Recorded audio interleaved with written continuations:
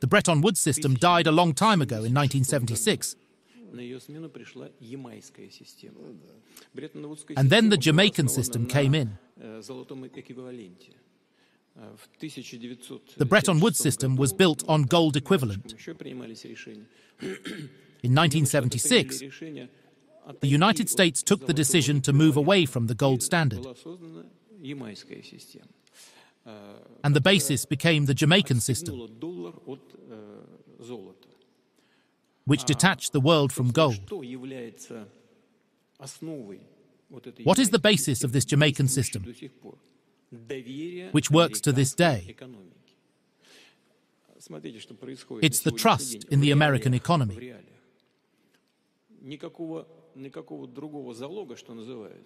There's no other security, so to say, other than trust in the American economy. It's like that, there is no other security. So, what that means is that they are exploiting their position in the world economy and are earning serious money on this. There's open source information that notionally the United States owes the world economy $54.3 trillion. What does this figure consist of? $12.6 trillion is what individuals hold on their accounts, in their pockets, so to say, outside of the borders of the United States. Plus, another 10 trillion is invested or taken out by American companies. So this is 22.6 trillion dollars US dollars which is not secured by anything other than trust in the American economy. The rest of the amount is what citizens of other countries have invested in American companies.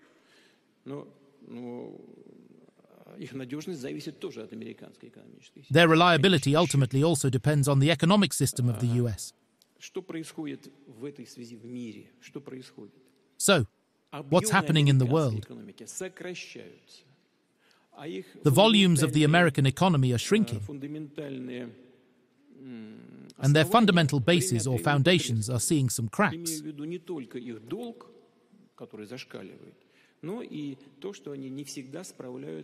It's not just debt, but also the fact that they're not managing their target or figures for inflation.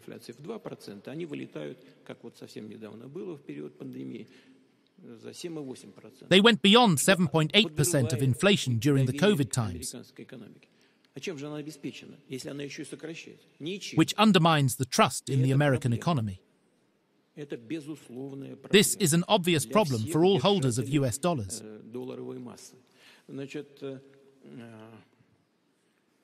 Due to its shrinking share in the world economy,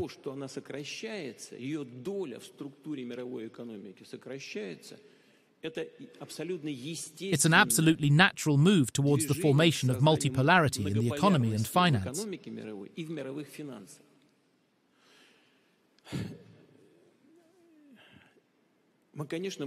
Of course, we can make up some systems. However, the significance of a certain currency depends on the significance of the economy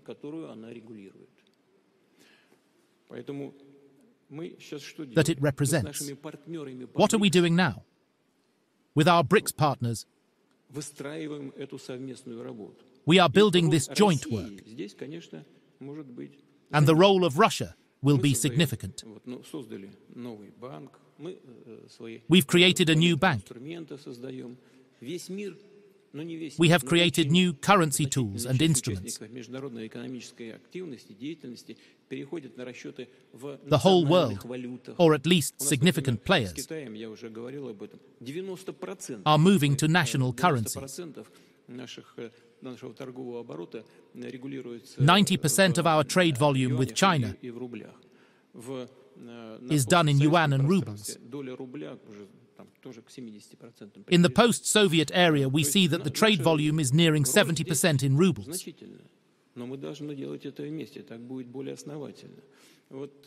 We have to do this together so that it's more sustainable. We discussed this with some of my colleagues until very late. We talked about this session today and the possible topics. And we came to the conclusion that the American government is just like what was happening in the UK. When employees were breaking the tools that they were using for work. This is what they're doing. They're breaking their instruments or their tools which they're using for work.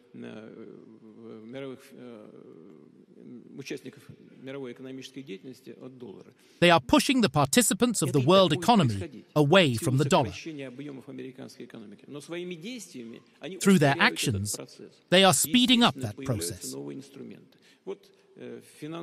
Of course, new instruments will appear. We talked about central banks in BRICS.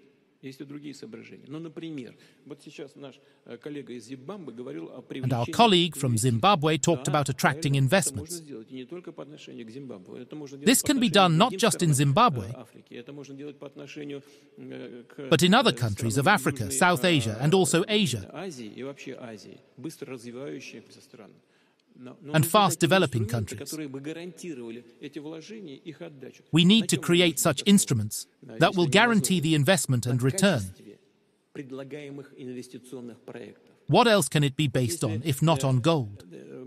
It can be based on the quality of the investment projects. If we ensure quality and stability of the political regimes,